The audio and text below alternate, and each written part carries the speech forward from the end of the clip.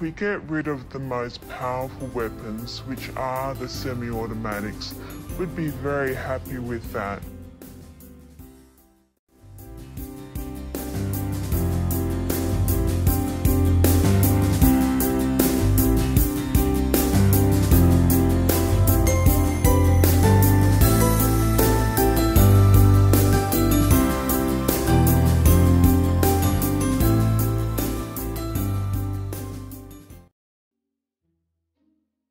Australia's gun controls rely on evidence based public health policy development.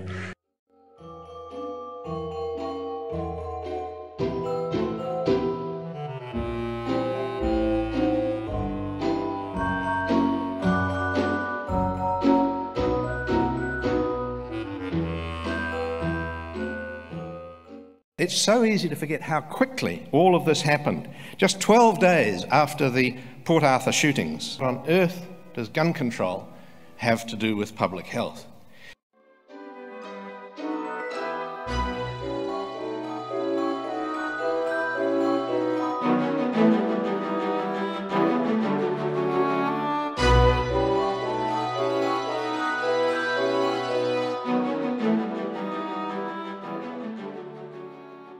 We were able to do it because uh, the moment was seized.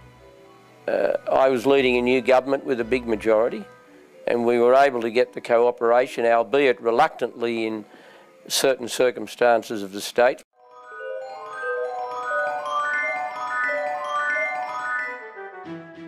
Three quarters of a million newly prohibited semi automatic rifles and shotguns were purchased by the government from gun owners at market value and destroyed.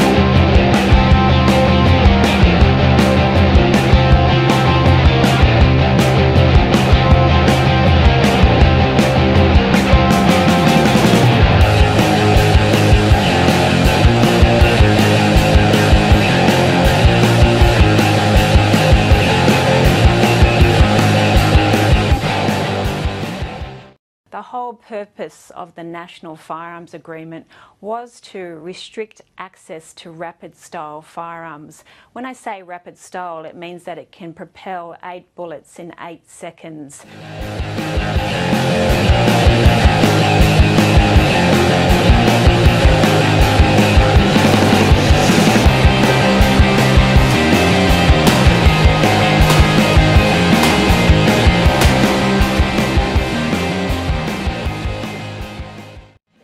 Propel eight bullets in eight seconds.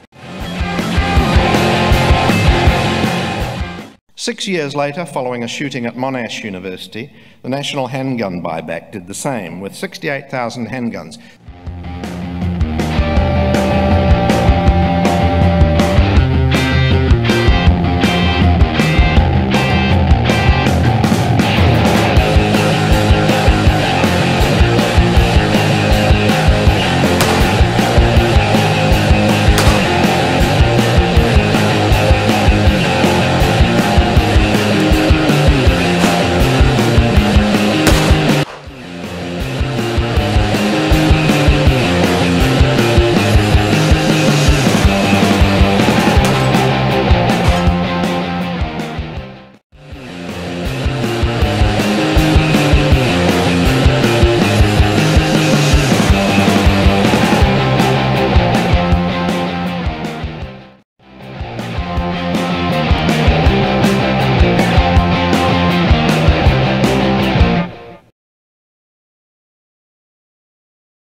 In the 18 years before the national firearm buyback from 1979 to 1996, gun suicide and gun homicide rates were already on their way down. And no substitution of method. That's important. Murderers did not simply switch to other methods.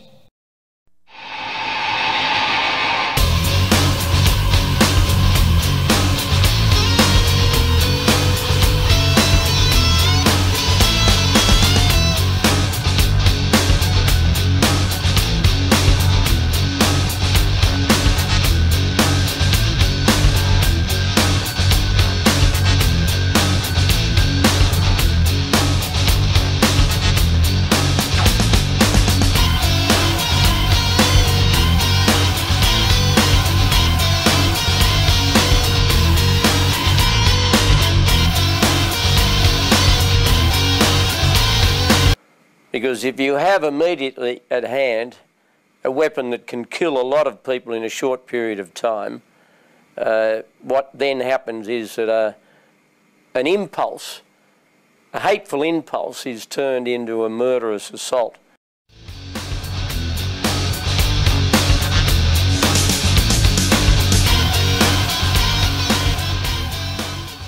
The key thing in the Australian experience is that if you remove uh, these lethal automatic and semi-automatic weapons, the murder rate from the use of guns does decline.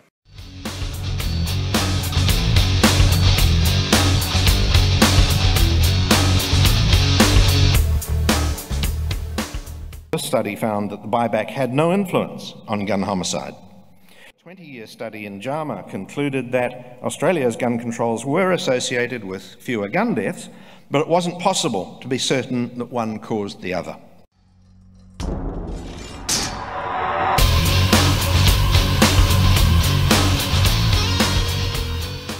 Guns are to gun violence as the mosquito is to malaria.